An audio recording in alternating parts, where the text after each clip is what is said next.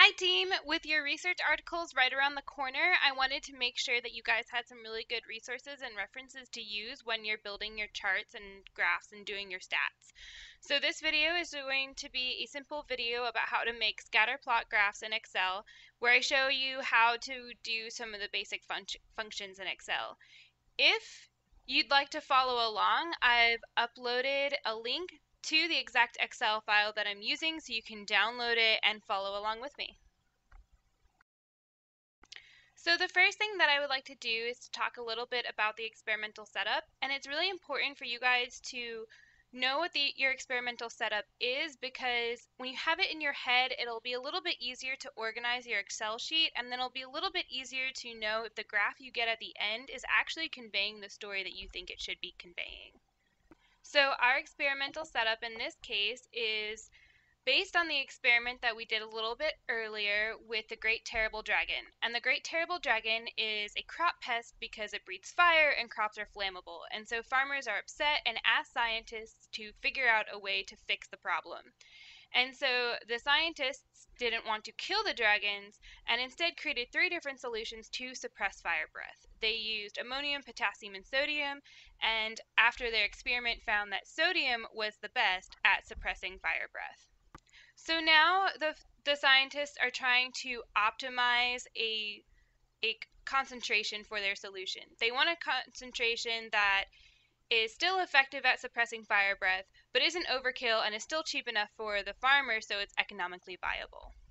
So here in my data set, here are my labels, and I have my five trials set up, and I've already inserted the fire breaths that each dragon breathed after consuming the treated cattle. So the first thing that I have to do is I have to take the average for each concentration. And this is because I want my one point to be a snapshot of all the trials for that one solution. I don't want one concentration of the solution to have several different points associated with it. I just want one. And to do that, I need to calculate the average. To calculate the average, I've already set up a row designated for the average, and I hit the equal sign on the keyboard, which tells Excel that it's time to run a function. And so in the ribbon, which is this big pink gray thing, there's a little button next to this text box that says f of x, and that's your insert function button. So I'm going to click that, and I've run average really recently, but if you haven't, you can just search for it. And all the things that are related to averages shows up in this little box, and we want the real average. So average, average, and you hit OK. Instead of typing in each number individually, because that would be a pain, Excel is smart enough to know and to understand what you're doing if you plug in an entire range. So you can just go over to your, your Excel spreadsheet and click and drag and insert your entire range and you'll see that over here each of the numbers in that range has showed up and you can hit OK. So repeating this process for the next few data series wouldn't be like a huge problem but it'd be kind of annoying. So there's a little shortcut that we can do. So you want to make sure that the function that you just inserted is highlighted and you can do that just by clicking on it and you'll notice that there's a big thick rectangular box around it. And there's this little square on the side and you'll notice that when I hover over the square my cursor changes from a big white plus sign to a smaller black filled in plus sign. And you can hold the corner and drag your data across and this shortcut tells Excel to take the function that we just ran and apply it to the next column and you can see that when I click on the first one that we did, it says average D11 through D15, which is the column and range that we put in. And if I click the next one, you'll see that it says average E11 to E15. And so you can clearly tell that Excel filled everything in for you. Now that we've done that, we can insert the chart. And we can do this by first highlighting your labels and then on your keyboard hitting the control apple or command key depending if you have a PC or a Mac and highlight your averages And the Control, Apple, or Command key just tells the computer that you want to highlight two things that are not immediately next to each other. So now that you've highlighted your labels and your and your averages, you can insert the chart. And you go up to the ribbon and next to home is insert. And you don't want a line graph because a line graph will connect all of your points together. Instead, we want a scatter plot, and we want a scatter plot with markers only. And we can insert the scatter plot.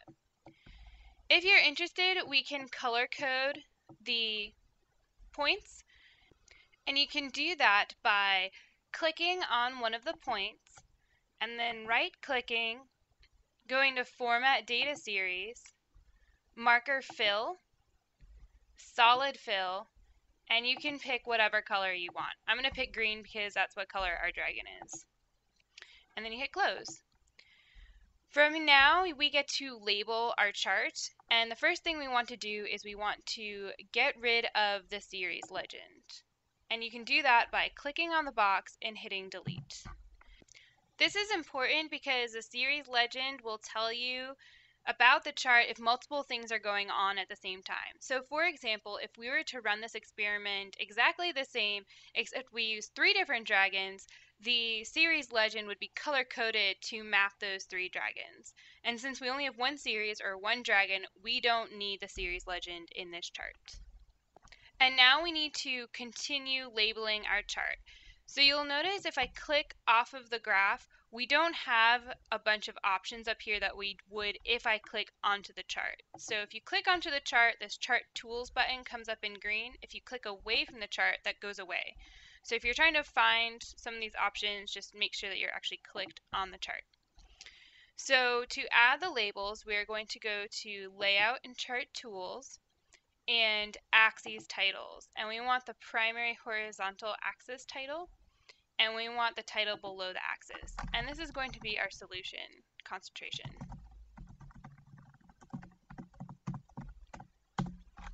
You'll notice that our solution concentration goes up by 2 starting with 1 and our chart goes up by 2 starting with 0. And so we can actually add in those extra points on the x-axis by going to axes and primary horizontal axis and more horizontal axis options. And you could set the minimum and maximum if you want to. I'm going to set the major unit from auto to fixed and change from 2 to 1 so all of the points show up. And there you have it. I'm going to make this a little bit bigger so it's a little bit easier to see. And now we can add the y-axis by going to the primary vertical axes options, and I like the rotated title. And this will be number of fire breaths.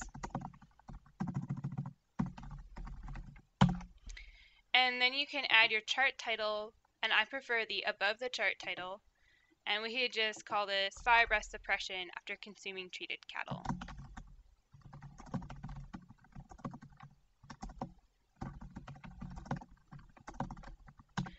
And you want your chart late your chart title to actually be descriptive of what the chart is so that way the reader can easily find the chart that is related to the information that they're curious about.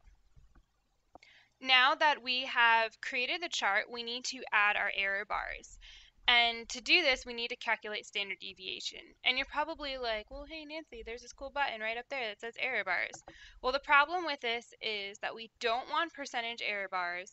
And while people use standard error and standard deviation to calculate error bars, this option applies a the same standard error or the same standard deviation to each of your points, and that is not the case for us. So we need to calculate our own standard deviation to add, our, add in our own error bars.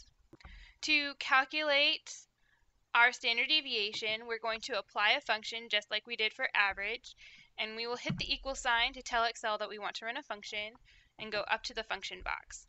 I have used standard deviation recently, but if you haven't, you can just look it up. Hit go. And we want STDEV for standard deviation. and we'll hit OK. And just like with average, we can highlight an entire range instead of inputting each individual number, and we'll hit OK. We use standard deviation for the error bars because standard deviation basically asks the question, how much do our trials vary from the mean? Or what variation is in our sample set? And to copy the function over the seven other data points we have left, we'll just do the same short shortcut as we did for the averages. Now that we've done that, we need to actually put the error bars on the chart. So you can click on your data series and you can go to Layout in the Chart Tools, Error Bars, More Error Bar Options. We want both the positive and negative, and we want the cap. And we need to move this box out of the way of our data because when we go to Custom, and we want to specify the value, this little box thinks it's more important than anyone else, and so you can't move the big box out of the way anymore. To add the standard deviation, you first clear out the data that's already been inputted into the box, and you will control Apple or Command and click each of the values for the standard deviation. In some newer versions of Excel, you don't have to control click, you could just highlight and it knows to map each of the values to each of the dots. But some older versions of Excel aren't quite that smart and so if you just control click, you're always, always, always telling the computer to map each value to each separate dot. And for the negative error bar value, because our negative and positive is the same, we're going to just repeat the process and you can hit OK. So we have a big major problem with the error bars, and that is that in addition to our vertical error bars, we have horizontal error bars. And the vertical error bar makes sense because this shows the number of fire breaths that that was breathed in each of our trials for each solution. So it makes sense that there's a variation because different dragons breathe different amounts of fire breaths. However, a horizontal error bar doesn't make sense because this would be suggesting that our concentration of our solution varied each time. And our scientists were really good and really precise, and so we know that their measurements were accurate. So there's no need for an error bar. This is also true if you do time or you're really good about measuring temperature. You shouldn't have a horizontal error bar. And it's really easy to get rid of them you can just click on the horizontal error bar and hit delete on your keyboard and they go away. The second problem that we have is that because of our error bars, our y-axis now goes below zero. And it doesn't make sense to have a y-axis that goes below zero because our dragons couldn't breathe fewer than zero fire breaths. So to get rid of the extension of the y-axis, we can go up to the chart tools, and to layout and then to axes and click on it and we want the primary vertical axis and we want more primary vertical axes options. And we can go to the minimum we want a fixed minimum of zero and we hit close and then our graph is fixed so now we can see that the concentration of sodium that is most effective is somewhere between 11 and 15. And in the next video where I talk about stats, I'll show you how to add a trend line and your R squared value to this chart.